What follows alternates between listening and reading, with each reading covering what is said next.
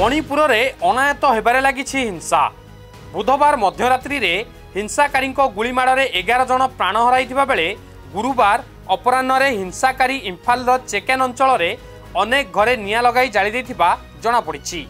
ଖାଲି ସେତିକି ନୁହେଁ ଗତ ବିଳମ୍ବିତ ରାତିରେ ଜଣେ କେନ୍ଦ୍ରମନ୍ତ୍ରୀ ଆର୍ କେ ରଞ୍ଜନଙ୍କ ଇମ୍ଫାଲ ସ୍ଥିତ ବାସଭବନରେ ମଧ୍ୟ ନିଆଁ ଲଗାଇ ଦେଇଥିଲେ ହିଂସାକାରୀ। ହିଂସା ରୋକିବାକୁ ସୁରକ୍ଷାକର୍ମୀ ଲୁହବୁହା ଗ୍ୟାସ୍ ପ୍ରୟୋଗ କରିଥିଲେ। ଗତ ମେ ମାସ ତିନି ତାରିଖରେ ମଣିପୁରରେ କୁକି ଓ ମୈତେଇ ସମୁଦାୟଙ୍କ ମଧ୍ୟରେ ହିଂସା ହୋଇଥିବା ବେଳେ ବର୍ତ୍ତମାନ ସୁଦ୍ଧା ଶତାଧିକ ଲୋକଙ୍କ ମୃତ୍ୟୁ ହେଲାଣି ଓ ଚାରିଶହରୁ ଅଧିକ ଲୋକ ଆହତ ହୋଇଛନ୍ତି। ହିଂସା ରୋକିବାକୁ ଶାନ୍ତି କମିଟି ଗଠନ କରାଯାଇଥିଲେ ମଧ୍ୟ ଉଭୟ କୁକି ଓ ମୈତେଇ ସମୁଦାୟ ତାକୁ ବିରୋଧ କରିଛନ୍ତି। କୁକି ସମ୍ପ୍ରଦାୟ ସୁପ୍ରିମକୋର୍ଟଙ୍କ ଦ୍ୱାରସ୍ଥ ହୋଇଛନ୍ତି।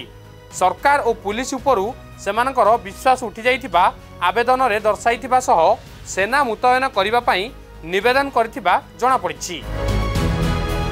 ହିଂସା ଆରମ୍ଭ ହେବା ପରେ ଉଭୟ ରାଜ୍ୟ ଓ କେନ୍ଦ୍ର ସରକାର ଯେଉଁଭଳି ତତ୍ପରତା ପ୍ରକାଶ କରିବା କଥା କଲେ ନାହିଁ ସେପଟେ ପ୍ରଧାନମନ୍ତ୍ରୀଙ୍କଠାରୁ ଆରମ୍ଭ କରି କେନ୍ଦ୍ର ଗୃହମନ୍ତ୍ରୀ ଓ ଅନ୍ୟ ମନ୍ତ୍ରୀମାନେ କର୍ଣ୍ଣାଟକ ବିଧାନସଭା ନିର୍ବାଚନରେ ମାତିଲେ। ଫଳରେ ହିଂସା ଅଣାୟତ୍ତ ହେବାରେ ଲାଗିଲା। ଆଉ ଏବେ ନେଡ଼ିଗୁଡ଼ କହୁଣୀକୁ ବୋହିଗଲାଣି ବୋଲି ସାଧାରଣରେ ମତ ପ୍ରକାଶ ପାଇଛି। ବ୍ୟୁରୋ ରିପୋର୍ଟ ନ୍ୟୁଜ୍ ଆଡ୍ଡା ଓଡ଼ିଶା।